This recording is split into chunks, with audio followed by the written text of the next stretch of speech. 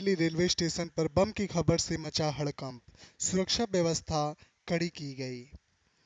नई Delhi railway station पर बम की खबर से हड़कंप मच गया। सभी ट्रेनों को 6-7 मिनट रुक कर चेक किया गया। जीआरपी को एक नंबर से ट्रेन में बम का मैसेज आया। एएनआई के मुताबिक कंट्रोल रूम पर सोमवार करीब तीन बजे फ़ोन आया कि स्टेशन पर एक बम रखा है, जो जल्दी फटने वाला है। आरपीएफ और दूसरी सुरक्षा एजेंसियों ने तत्काल तलाशी अभियान शुरू किया। यह तलाशी अभियान घंटों तक चला, लेकिन कोई सुराग नहीं मिला।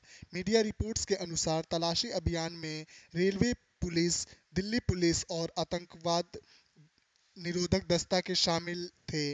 हालाँकि कोई विस्फोटक नहीं मिला, लेकिन स्टेशन पर सुरक्षा व्यवस्था कड़ी कर दी गई है। यह भी जाँच चल रही है कि आखिर फ़ोन किसने किया था।